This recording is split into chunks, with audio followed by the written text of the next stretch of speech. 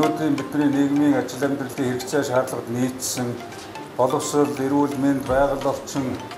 За тэгээд одоо хүүхэд багчууд оюутан сурагчдын сурч боловсруулах цаг орчин нөхцөлийг улам сайжруулах цагийг үр бүтээлтэй өнгөрүүлэхэд чиглэсэн олон сайхан юм төслөлтөрүүдийг үнэхээр одоо бас хичээж боловсруулж өнөөдөр одоо шагналт байр шалгарсан болон тусгай байр эзэлсэн бид нар шалгарсан төслүүдэд санхүүжилттэй олгоод явна. Тэгээд тодорхой хугацааны дараа бид нар газар дээр нь очиж бас төсөл ямар хэрэгжиж шатанд хэрэгжиж байгаа ямар үр дүн өгч байгаа тийм Тэгээ ямар хэмжээнд хэрэгжүүлж байна гэдэг дараа дараа нь цааш нь өгшөө яаж дэмжиж болох вэ? Яаж хамтарч өргөжүүлж хөгжүүлж болох вэ? Яаж олон хүний хүртэл болох уу гэдэг талаас нь хэдүүлээ бас ингээд үргэлжлүүлээд хийгээд явна. Та хэд маань бас ингээд маш их туршлага өргөжлүүллээ шүү дээ энэ жил. Энэ олон хүүхэд 2100 хүүхэд энд цуглаад тэгээд ийм одоо олон төслөө 160 гаруй төсөл санаа одоо санаачилж ирүүлээд эндээс 3 4 хүн 5 хүн шалгана гэдэг бол